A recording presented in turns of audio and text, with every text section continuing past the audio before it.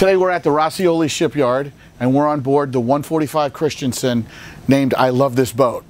And right now we're in the middle of a full Crestron system refit. We've removed all the old equipment, all the old analog equipment, and we are installing all new digital Crestron equipment. And Eric here is working on these four racks that we're installing.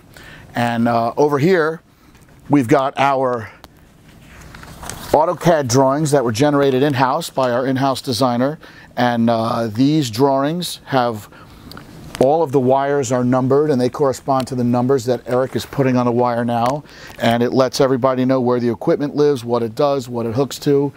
So we've got a fantastic um, as-built drawing set done for this boat. So when they travel around the world anybody who's got a, if they've ever have a problem, anybody who comes on the boat to resolve any problem has a fantastic piece of documentation to refer to in addition to this fantastic workmanship that we've going right here. So as part of a full refit, as you can see right here, we have these racks and there's miles of wire attached to these racks. And this wire goes to every cabin, every speaker, everything all over the boat. So as we're in the middle of a refit, as you can see above me, we've got lots and lots of cable that has been run and continues to be run, and it goes to every single TV, receiver, and speaker throughout the whole boat. So let's go take a look at where some of these wires terminate. So here we are in the master cabin. And as you can see, we've got lots of headliners down, lots of wires got run. We've got a new TV here, we've got a new stereo receiver here. You can see we've got our drawing here so everybody knows what goes where and how it hooks up.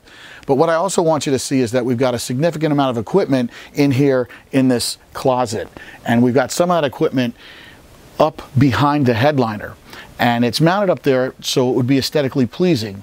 Um, the equipment that needs to be looked at and might need to be touched or buttons pressed or something plugged in, those items are out. But the other items that are related to the control system that don't have to be looked at or played with are put somewhere where they're more aesthetically pleasing that you don't have to look at these components all the time.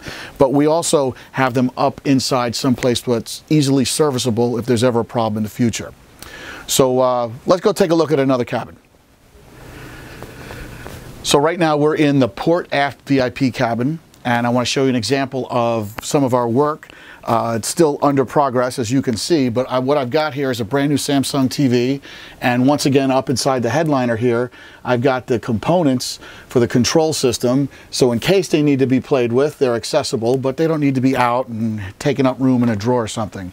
Um, we've also got some components uh, in our closet over here in this VIP cabin and this is just an example of what it looks like when the work's underway um, but all, the, all these wires here started out in that rack we looked at in the back of the salon and they've run here. So every cabin, every TV, every speaker, we've got wires running all over the boat. But uh, it's going to be a fantastic upgrade once we're done because we're taking it from standard definition to digital high definition with full switching and Crestron control. And it's going to be a beautiful system. Here we are in the Sky Lounge, and as you can see, we've got quite a mess going. Uh, a lot of headliners are down because we had to pull a lot of new wire. New TVs up over here and this pop-up. But what I what I really like you to see is this completed rack over here. Uh, this one is, I guess, 90% complete. Uh, this is all new Crestron control components. It's a new TracVision HD11 brain box. We've got over here uh, the speaker controller for the speakers on the aft deck and in the Sky Lounge here. One of my favorite things about the racks that we custom design and build is this piece from Middle Atlantic racks that we're using and its thermal management. As you can see here we've got a temperature reading of uh, the temperature inside the rack and as you can see here we've got a bank of fans.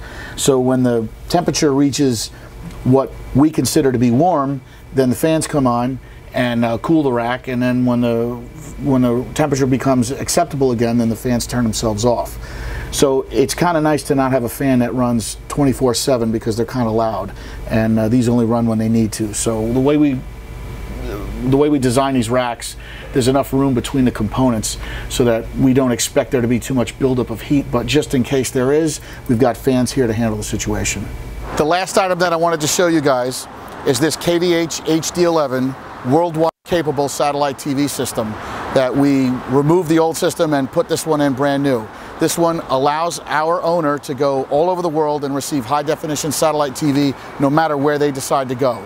So this is the complement to our entire audio video system that we've upgraded. So the whole boat is now digital high definition and we can do the same thing for you.